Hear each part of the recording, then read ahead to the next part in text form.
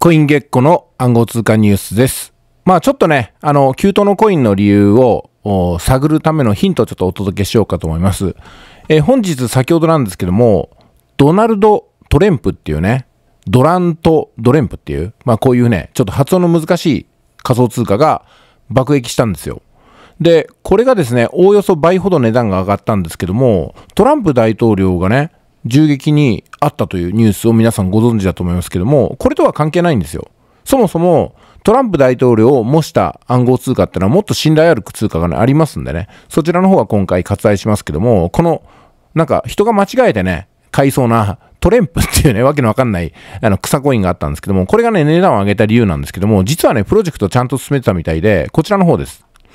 これですね、クラーケンがこちらの仮想通貨をね、プラットフォームで利用できるようになったよっていうふうに発表したんですよ。で、その結果、15%の急騰して、で、結果、値段がね、60円あたりから120円まで上がったってことなんですよ。現在も100円ぐらいになってますんで、ここで売却した方は、まんまと売り抜けたってことになりますけども、まあ、こういった情報をね、つぶつぶ見ていると、まあ、クラーケンをね、ずっとチェックしている人ってあんまりいないと思いますけども、クラーケンの方で、今回の通貨が上場間近だよとかっていうことになってくる。まあ、そういったところに投資ができたかどうかっていうところが、今回の勝因だと思います。まあ、こんなね、マイナーな通貨ご存知の方いないと思いますからね。